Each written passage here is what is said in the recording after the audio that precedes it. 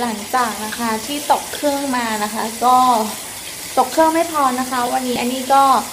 บินตอน11โมงครึ่งใช่ไหมคะ แต่ว่า flight ก็ delay ไปอีกประมาณ 20 นาทีนะคะ ก็ทำให้มาถึงที่สิงคโปร์ช้าไปประมาณเกือบ20-30 นาทีนะคะ ก็วันนี้นะคะมาถึงแล้วก็ตะลอนตะลอนตะลอนท็อปปิ้งเดินเที่ยวนะคะ ไปดินเนอร์นะคะ ก็นี่นะ ตอนนี้ก็สี่ทุ่มกว่าแล้วที่นี่นะคะเกือบห้าทุ่มแล้วแหละ ได้เวลาที่ข้าพเจ้าจะอาบน้ำแล้ว ข้าพเจ้าเปิดน้ำก่อนนะคะ ก็เมื่อย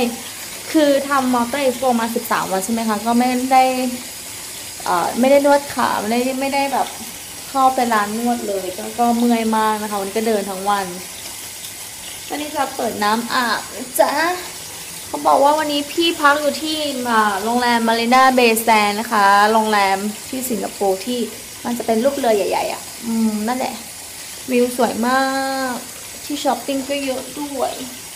ห้องน้ำใหญ่เบ้อเลย นี่นะคะ พี่ก็จะอาบน้ำนะคะ เพราะว่าพี่การ์ตูนยังช้อปปิ้งยังไม่เสร็จ พี่ก็จะอาบน้ำก่อนแล้วกันนะ เพราะว่าพี่เหนื่อยมากเลย พี่ก็โทรมมากเลยนะคะ หน้าตาก็ไม่ได้อาบ เอ้ย น้ำไม่ได้อาบนะคะ แล้วก็หน้าก็ไม่ได้ล้างฟันยอมรับนะคะว่าฟันก็ไม่ได้แปรงนะคะ มาสภาพนี้หัวนะคะ ยังเป็นทรงผมของเมื่อวานนี้อยู่เลย โอเคเดี๋ยวที่ระจะอาบน้ำแล้วนะลืมบอกว่าสตรอเบอรี่ใหญ่มาก